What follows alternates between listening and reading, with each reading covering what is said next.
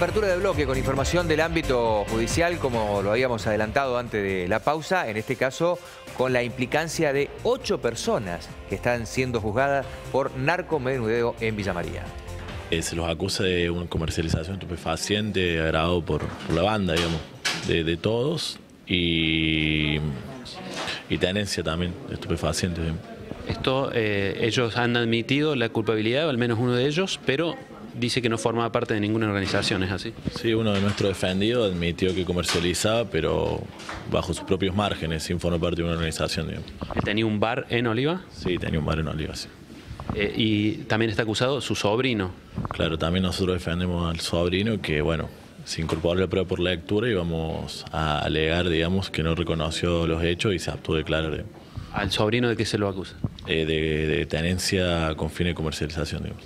¿Cuándo fueron estos allanamientos? ¿Cuándo quedó detenido su cliente? Y hace aproximadamente un año que están detenidos, digamos, en una investigación de un año de la policía y después diferentes allanamientos, digamos, el mismo día. ¿Hay falta prueba, digamos, para demostrar esa presencia de la organización de los cuales se lo acusa?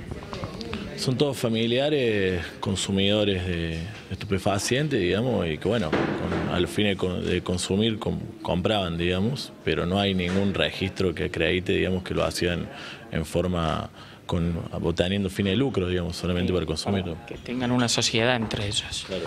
Ahora el- hemos pasado para el martes a las eh, 15 horas para alegar, en el cual nosotros vamos a pedir la, la libertad de Ariel, la absolución, perdón, por creer que era para consumo personal. No lo agarraron con mucho, agarraron con uno o dos gramos.